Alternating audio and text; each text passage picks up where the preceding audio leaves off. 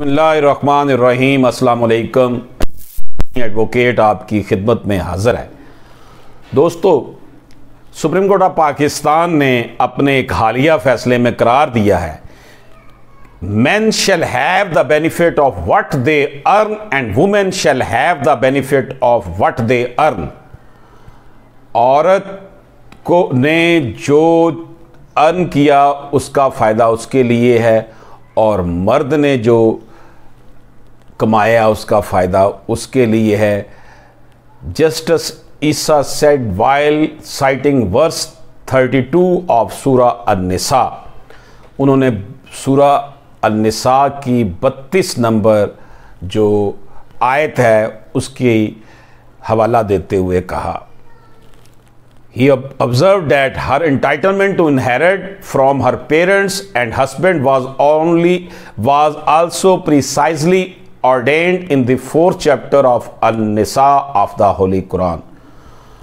Justice Qazi Faez Isa का कहना है कि कुरान मजीद की सूर निसा में जो औरत को अपने वालदेन से या अपने हस्बैंड से जो वरासती प्रॉपर्टी मिलनी होती है, इसको खोल कर बयान किया गया है A woman also does not need permission to acquire or dispose of property. What she inherits is hers and hers alone, and neither her husband, father, brother, nor her son has any entitlement to it.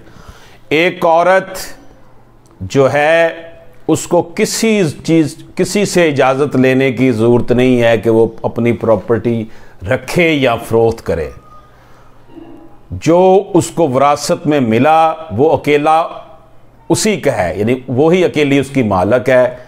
ना उसका husband मालक है, ना उसका father मालक है, ना उसके भाई मालक हैं हती कि ना उसका बेटा जो है, वो उसके ऊपर मलकियत रखता है। इससे बड़ी और बात क्या हो सकती है कि जनाब,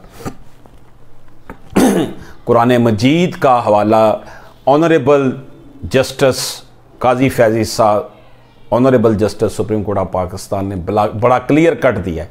अब जो लोग बहनों से वरासती प्रॉपर्टी माफ़ करवाते हैं, जो बाप वरासती प्रॉपर्टी नहीं देता, हिबा और तमलीक कर, का नाम देकर बच्चियों को महरूम करता है, उनको अपने ईमान की खैर मनानी चाहिए। ये कुरान मजीद का इरशाद है, जैसे सुप्रीम कोर्ट ऑफ़ पाकिस्तान के जस्टिस काजी फैजिसा ने अपने एक हालिया फैसले में लिखा है। इजाज़त दीजिए अल्लाह